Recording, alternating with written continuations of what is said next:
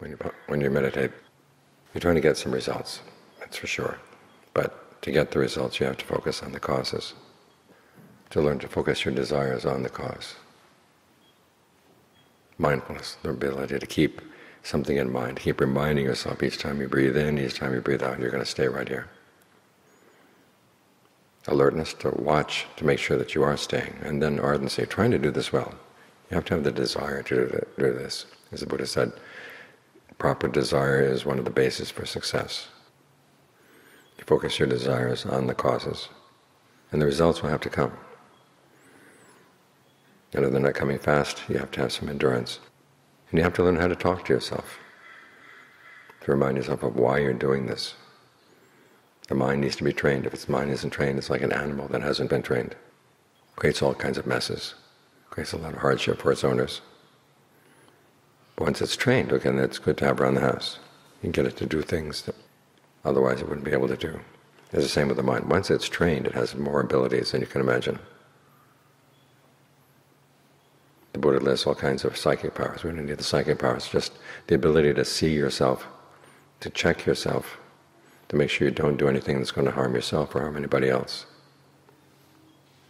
That's a good ability to have right there, because otherwise our thoughts take over, our desires that are not in line with the Dharma take over, and they can cause all kinds of trouble. So you want to have some control over your mind. Don't give in to random thoughts, because you're doing something good here. And if you're not doing this and you're wandering off, what are you going to gain out of the wandering off? There might be a little bit of pleasure in the present moment, but that's it. There's no long-lasting value. But the mind that's been well trained has lasting value.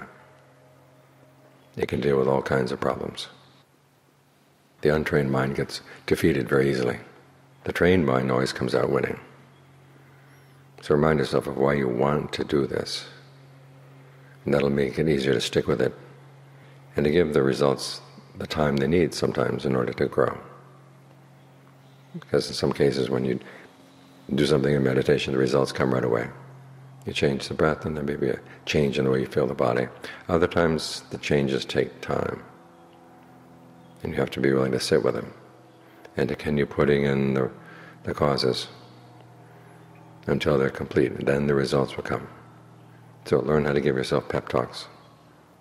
Think of the Buddha's instructions. They said that he would instruct, urge, rouse, and encourage his listeners. Four verbs one is giving information, the other three is giving encouragement. So learn how to give your mind encouragement to stick here, stay right here, to get the best out of being right here. Because there is a lot to be gained.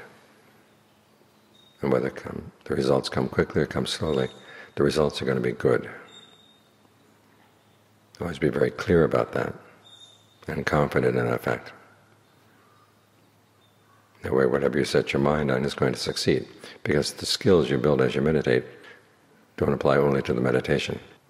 Every project you may take on in life, you have to have the desire, you have to have the persistence, you have to be intent on what you're doing, and you have to be circumspect in what you do. All these bases for success apply both inside and out. So make sure that you develop them.